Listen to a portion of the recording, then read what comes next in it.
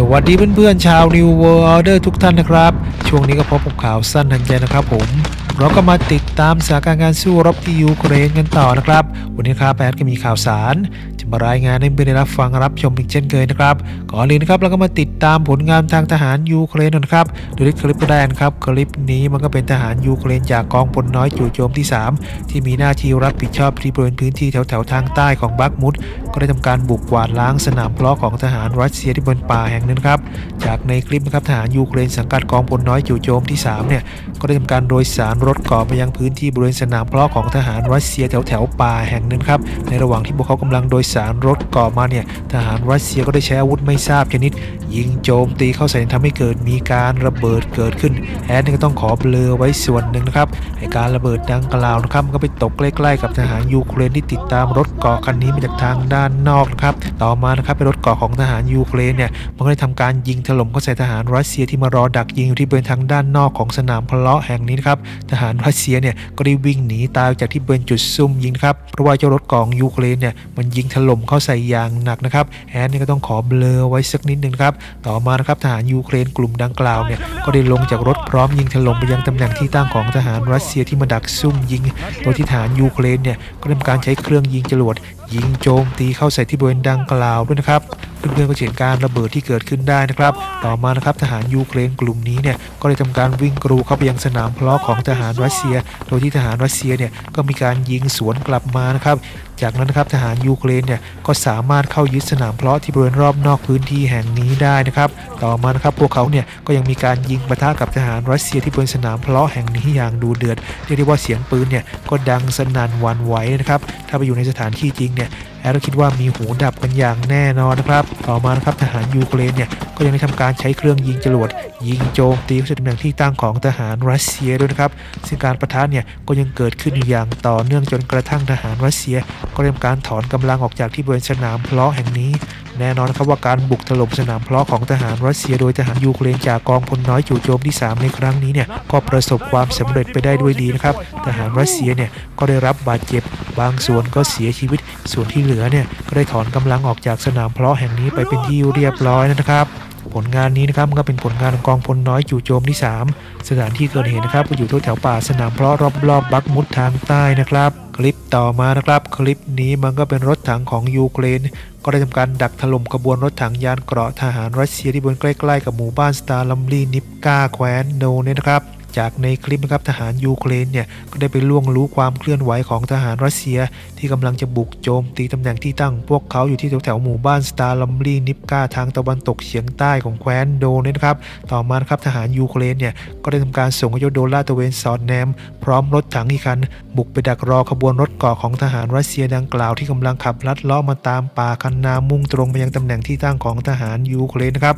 ต่อมาครับในรถกราะของทหารรัสเซียคันหนึ่งเนี่ยมันก็ได้เกิดมีการระเบิดขนาดใหญ่เกิดขึ้นครับไอการระเบิดขนาดใหญ่ดังกล่าวก็ยังไม่ชวนครับว่ามันเกิดจากเจ้ารถถังยูเครนยิงถล่มเข้าใส่ หรือว่ารถกราะคันนี้ มันไปเหยียบกับทุ่นระเบิดที่วางเอาไว้นะครับต่อมานะครับรถถังของยูเครนเนี่ยมันก็ได้ทำการยิงโจมตีเข้าใส่รถกราะของทหารรัสเซียที่กำลังวิ่งอยู่ข้างๆป่าคันนาจนทำให้เกิดมีการระเบิดเกิดควันขโมงเกิดขึ้นครับรถถังของยูเครนเนี่ยมันก็ยังจัดหนักยิงถล่มเข้าใส่ยานเกราะของทหารรัสเซียอย่างต่อเนื่องนะครับเพื่อนๆก็เห็นประกายไฟแล้วก็ควันขโมงที่ปลายกระบอกปืนของเจ้ารถถังคันนี้ อีกทั้งก็ยังเห็นการระเบิดขนาดใหญ่ของของรถเกราะรัสเซียด้วยนะครับโอ้โห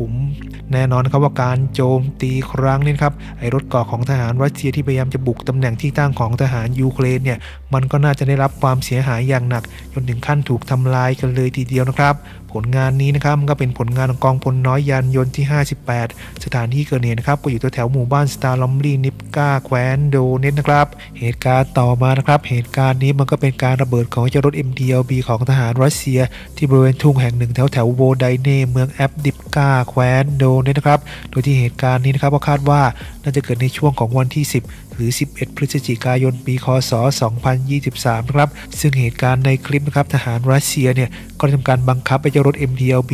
ซึ่งคาดว่าภายในของมันเนี่ยจะประกอบไปด้วยระเบิดเป็นจำนวนมากที่หมายจะทำเป็น car bomb นำไปถล่มตำแหน่งที่ตั้งของทหารยูเครนครับในระหว่างที่กำลังบังคับรถเกราะไปยังตำแหน่งที่ตั้งของทหารยูเครนเนี่ยทหารรัสเซียพลประจำรถก็ได้ทำการกระโดดลงจากเจ้ารถเกราะคันคันนี้นะครับซึ่งแอดคาดว่าเขาก็น่าจะลงมาบังคับมันจากทางด้านนอกครับโดยที่รถกาะคันดังกล่าวเนี่ยก็น่าจะถูกติดตั้งชุดควบคุมระยะไกล ที่ทำให้ทหารรัสเซียเนี่ยสามารถบังคับมันได้จากนอกรถนะครับ ต่อมานะครับเป็นรถกาะคันดังกล่าวเนี่ยมันก็ได้เกิดมีการระเบิดขนาดใหญ่เกิดขึ้นครับ ซึ่งการระเบิดดังกล่าว มันก็เป็นระเบิดที่บริเวณกลางทางระหว่างจะถึงที่ตั้งของทหารยูเครนนะครับโดยที่การระเบิดดังกล่าวเนี่ยก็ยังไม่ชัวร์นะครับว่ามันเกิดจากอะไร มันก็อาจจะเป็นในทางเจ้ารถเกาะ MTLB บรรทุกระเบิดของทหารรัสเซียคันนี้ ไปเหยียบกับทุ่นระเบิดที่ทางยูเครนวางดักเอาไว้ แต่บางคนเขาก็บอกว่าโดรนกามิกาเซ่ของยูเครนเนี่ยมันพุ่งโจมตีทำให้เกิดมีการระเบิดเกิดขึ้นนะครับ อันนี้แอดก็ยังไม่ชัวร์จริง ๆ นะครับแน่นอนครับว่าจะด้วยเหตุผลอะไรก็ตามนะครับ แต่เจ้ารถเกาะ MTLB บรรทุกระเบิดของทหารรัสเซียคันนี้มันก็ได้ถูกทำลาย กลายเป็นซาก กลายเป็นเศษเหล็กเหมือนรถถังยานเกราะของทหารรัสเซียคันอื่นๆ ที่อยู่ที่บริเวณพื้นที่แห่งนี้ไปเป็นที่เรียบร้อยนะครับ สถานที่เกิดเหตุนะครับก็อยู่แถวแถวโวไดเน่เมืองแอปดิปกาแคว้นโดนเนนะครับ รูปต่อมานะครับ รูปนี้มันก็เป็นรูปความย่อยยับของรถถังยานเกราะรัสเซีย ที่พยายามจะบุกตำแหน่งที่ตั้งของทหารยูเครนแถวแถวโวไดเน่เมืองแอปดิปกาเพิ่มเติมนะครับซึ่งความเสียหายดังกล่าวเนี่ยก็น่าจะเกิดขึ้นเมื่อวัน 2 วันที่ผ่านมานี้นครับแอดคาดว่าอีกไม่นานเนี่ยเราก็น่าจะได้เห็นคลิปวิดีโอตัวเต็มออกมานะครับผม แต่ตอนนี้นะครับเราก็มาชมรูปภาพไปพลางๆกันก่อนครับ ซึ่งในภาพเราก็เห็นได้ว่ารถถังยานเกราะของทหารรัสเซียเนี่ยมันก็ได้ถูกทางยูเครนโจมตีจนได้รับความเสียหายเรียกได้ว่าย่อยยับยับเยินเหมือนเช่นเคยนะครับ ซึ่งทางรัสเซียเนี่ยก็ยังไม่ลดละความพยายามที่จะบุกปิดล้อมเมืองแอฟดิฟกาแห่งนี้ ไม่ว่าจะต้องสูญเสียรถถังยานเกราะและทหารราบแบบชีพไลท์ของรัสเซียอีกเท่าไหร่ ก็จะต้องปิดล้อมแล้วก็ยึดเมืองแอฟดิฟกาให้ได้นะครับ ไม่งั้นระดับผู้บังคับบัญชาของพวกเขาเนี่ยก็น่าจะถูกเด้งกันละนาวนะครับผมข้อหาใช้ทรัพยากรโดยสิ้นเปลืองแล้วก็ไม่มีผลงานอะไรกลับมา นอกจากซากศพของทหารรัสเซียนะครับผมคลิปต่อมานะครับ คลิปนี้มันก็เป็นคลิปการระเบิดของเจ้ารถถังแบบ T72 B3 ของทหารรัสเซีย ที่บนใกล้ๆกับหมู่บ้านแอนดีอิฟกา แคว้นโดนเนี่ยนะครับ จากในคลิปนะครับไอ้เจ้าโดนของยูเครนเนี่ยมันก็ไปพบกับรถถังของรัสเซียคันหนึ่งซึ่งไอ้รถถังคันดังกล่าวนะครับมันก็เป็นรถถังแบบ T72 B3 ของทหารรัสเซียที่จอดได้รับความเสียหาย และทหารรัสเซียเนี่ยก็ได้ทิ้งรถหนีไปหมดแล้วนะครับ ต่อมานะครับไอ้รถถังคันดังกล่าวเนี่ยมันก็ได้เกิดมีการระเบิดเกิดขึ้นนะครับไอ้การระเบิดดังกล่าวก็ยังไม่ชวนครับว่า มันเกิดจากอาวุธชนิดใด แต่ก็มีความเป็นไปได้สูงครับว่า การโจมตีครั้งนี้เนี่ยมันก็น่าจะเป็นการโจมตีมาจากไอ้เจ้าโดนของยูเครน ไม่ว่าจะเป็นการทิ้งระเบิดเข้าใส่ หรือว่าบินพุ่งชนเข้าใส่นะครับ ซึ่งการโจมตีครั้งนี้ของทหารยูเครนเนี่ยก็เป็นการมุ่งทำลายรถถังคันนี้ ไม่ให้สามารถนำกลับไปซ่อมแซมมาใช้ใหม่ได้อย่างง่ายดายหรือว่าไม่ให้สามารถนำกลับมาใช้ใหม่ได้อีกเลยนะครับสถานที่เกิดเหตุนะครับ อยู่แถวแถวๆหมู่บ้านแอฟดีฟกาใกล้ๆกับเมืองบัคมุตแคว้นโดเนตสก์นะครับ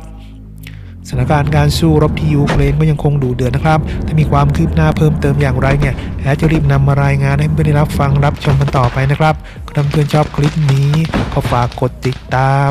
กดไลค์กดแชร์เป็นกำลังใจแอดด้วยนะครับถ้าเพื่อนมีความคิดเห็นอย่างไร ก็สามารถทิ้งความคิดเห็นไว้ที่ใต้คลิปด้วยนะครับ สวัสดีครับ